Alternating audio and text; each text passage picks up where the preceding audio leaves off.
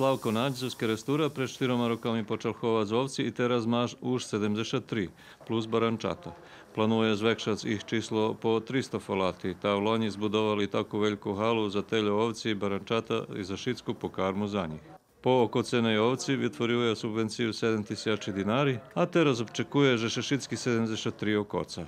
Slovo o rasi Suffolk, čiji barančata, ktorý osnovne žriedlo zarobku, dosť češki i mesnati i dobre še Wypłaci się, jest to około, za subwencję jest 100 euro po ovci do roka, czystego.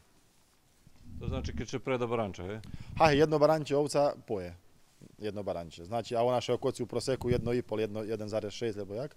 Znači, tu vam ostała pol barančeca, to 50 eura i država da 7 ezri, to jeszcze tu 50-60 eura, znači to vam zarada.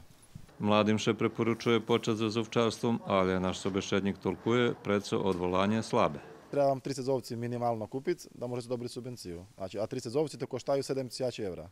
Teraz treba to uložiti. I već kao ona treba dva roki čeka za subvenciju i da še okoci da še preda baranče, ali je ženski od barančata ohabjace, predavatelj je muški barančata. Ta već to dlugo treba da še, da še vraci. To už kad máte 100 ovci, je već je zaradi. A dok 20-30 to bar ćeško. To musíte z druhých boku žiť a to to da še umnožava, da to 4-5 roki, 3 roki, kto jak, da znači, nie, nie dobije nic z nich.